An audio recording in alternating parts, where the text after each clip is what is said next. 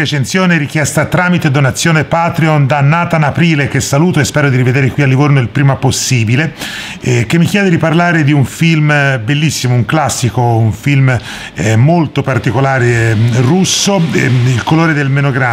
Il colore del melograno di eh, Sergei Parazanov che in questo film onirico, assurdo, surreale, mh, mm, senza alcun movimento di macchina, eh, racconta la storia del Settecento del trovatore armeno Saiviat Nota, dall'infanzia alla corte reale, il ritiro in convento e alla sua morte. Il film è un film diviso in varie sezioni, introdotti da pannelli che tra l'altro hanno delle poesie di Sayat eh, appunto come in introduzione. I capitoli sono infanzia, giovinezza, la corte del principe, il monastero, il sogno, l'anzianità, l'angelo della morte e morte. In tutto questo eh, il nostro regista russo, eh, utilizzando in maniera surreale e completamente folle anche alcune opere appunto del nostro, eh, cercando di spiarsi a livello visivo alle opere scritte di, di, di questo eh, grande poeta per l'appunto. Un film biografico certo, di quelli però difficilissimi, messi in scena come ho detto in maniera surreale, non c'è un movimento di macchina, non c'è un macchina a mano non c'è niente, sono dei quadretti, sono macchina fissa e all'interno degli stessi scorre a livello biografico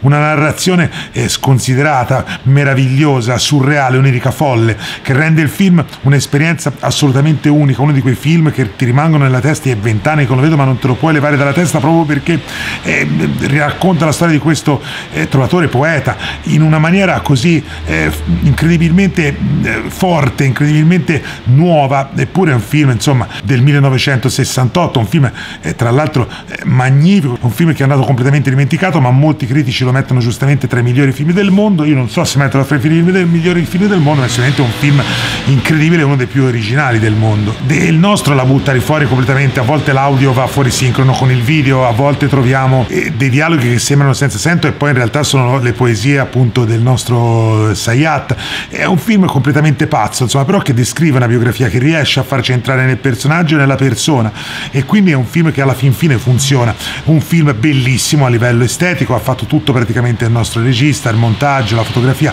è un film che vola con queste musiche folk armene, è un, un film stranissimo proprio per, per, per come è montato, per come è disarmonico, per come è antinarrativo volutamente, ecco qui siamo di fronte a cinema di avanguardia, sperimentale, biografica sì, ma sempre di fronte a qualcosa di incredibile, poi dei colori bellissimi, un modo proprio di mettere in scena completamente pop a livello però eh, russo, quindi con una certa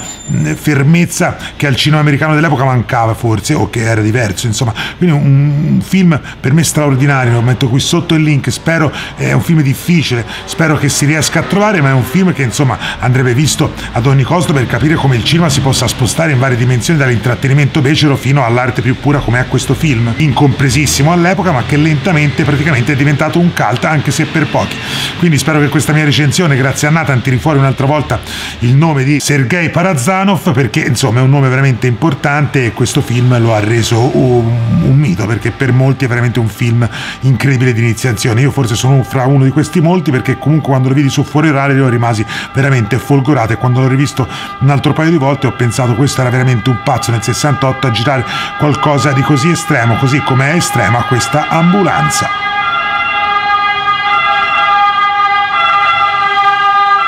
Ultima curiosità, post ambulanza, l'attrice Sofiko Chiaurei recita praticamente sei personaggi diversi, tra cui anche degli uomini, quindi grandissimo anche in questo. Un film completamente pazzo per pazzi che garberà i pazzi e che eh, finalmente riporterà allo sguardo di chi ama un certo tipo di cinema d'avanguardia, l'avanguardia pura, sperimentale, che però aveva qualcosa da dire e non era semplicemente spocchia radical chic. Qui siamo di fronte a un artista che ha creato un film magnifico e che spero, insomma, che qui sotto metto il link, come ho detto, mi mi piace, iscrivetevi al canale che spero insomma riporti un po' in auge per modo di dire il suo nome e questa opera meravigliosa.